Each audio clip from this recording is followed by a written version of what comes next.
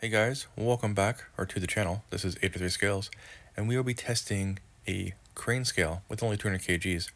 So we take our straps, we feed them down to through the weights, and we're able to lift them all up at the same time.